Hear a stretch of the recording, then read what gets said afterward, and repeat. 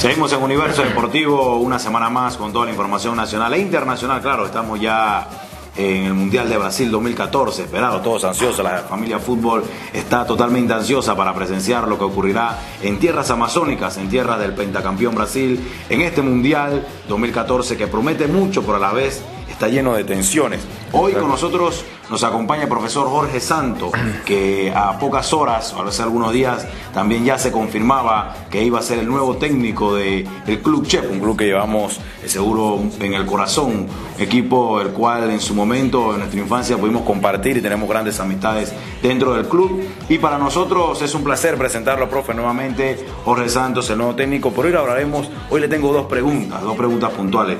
La primera, bueno, ¿cómo se preparará Chepo? ¿Cuál es la estrategia? Porque sabemos que se encuentra en la tabla de descenso. No queremos ver a Chepo nuevamente luchando en la Liga Nacional de Ascenso. Y vamos a hablar un tantito del Mundial, algo de lo que usted percibe de este campeonato que es el más importante a nivel universal, podría decir. Si en otro planeta se juega fútbol, es seguro que ahí estará también el Mundial. Pero hay muchas eh, lesiones, hay jugadores que a última hora han llegado lesionados. Además, hay jugadores que se mantienen todavía dentro de la convocatoria de sus distintas selecciones, pero siguen tocados. Exacto. No estarán para los primeros partidos. Muy buenas tardes, profesor. Bueno, buenas tardes, Polayo. Gracias por la, por la invitación a tu programa.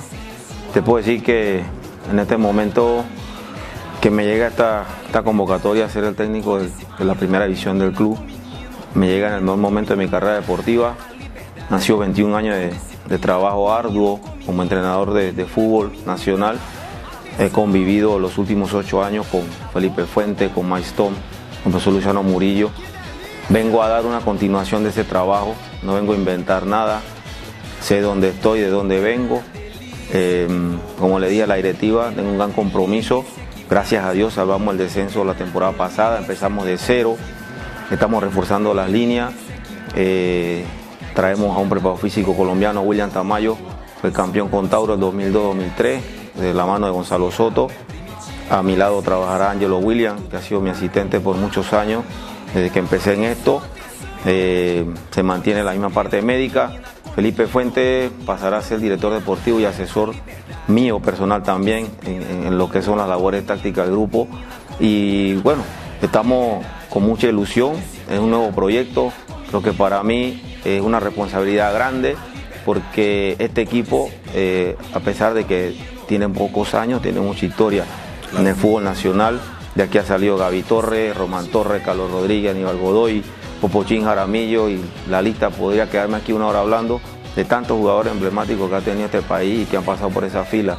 Así que la responsabilidad es grande, la tomo, la asumo con, con toda la responsabilidad posible y tratar de echar para adelante este barco.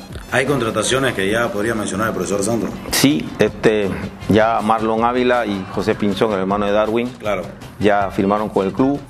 Eh, tenemos la baja de Bernardo Palma, que fue a Tauro, va prestado por la temporada. Eh, para mí, en lo personal y para el club, eh, no tener a Palma, de verdad que se hace un hueco enorme en el, en el grupo. Claro pero hemos tratado de suplirlo con estos jugadores. Eh, ayer recibí la llamada de Ricardo Romero, eh, que vuelve al club, eh, tuvo prestado a plaza y parece ser que bueno, todo se solucionó. Y estoy a la espera en 48 horas de dos jugadores más, un volante de marca del medio local y un delantero también del medio local, jóvenes los dos, uno de 23 y otro de 21. Los nombres no los digo porque todavía falta finiquitarlo de ellos y ojalá se dé. Y si de ser así, para el viernes tenemos la plantilla completa para empezar el 23-1 la pretemporada. 23-1 la pretemporada. Bueno, saltamos ahora al plano internacional. Le sale suerte también eh, en todo lo que se avecina en esta pretemporada para Chepo, que bueno, es un gran club, como le mencionábamos, y, y siempre había dado batalla, pero bien, Claro. es, es cosa del fútbol. Ahora pasamos al plano internacional, profesor. Eh, su percepción de lo que de lo que se avecina ya a pocas horas ya va a arrancar el mundial como ya le mencionábamos un, un mundial que está un poco tocado por los jugadores lesionados, algunos no convocados y demás. Exacto. ¿Cuál es su apreciación en cuanto al Mundial de Brasil 2014? Bueno, lastimosamente va a ser un mundial que, que- que- que hay muchas figuras que, que se quedaron por fuera. Costa Rica ahora acaba de tener una baja, nuevamente creo que fue ayer, no recuerdo el nombre, pero de verdad que va a ser un mundial en donde prácticamente llega, llegan los equipos y los equipos más emblemáticos que uno piensa de que bueno van a estar en la pelea final, llegan con jugadores tocados. Eh, en estos días Neymar casi se lesiona y de solo pensar eso uno dice, nada más falta eso para que el Mundial no tenga una figura máxima. Pero independientemente de eso, me parece que por las condiciones climatológicas, porque se juega en Sudamérica, Argentina y Brasil siguen teniendo un gran pool para llegar a la final. No descartar Holanda, no descartar Alemania, Bélgica nadie lo menciona. Y pienso que van a ser equipos que tal vez den una sorpresa. Pero a mí me parece que el Mundial se queda en América esta vuelta. ¿Cree que se queda en América? Me parece que sí. ¿Se repetirá un maracanazo, profesor? No creo. Yo creo que eh, si no es Brasil, Argentina es candidato en un gran equipo.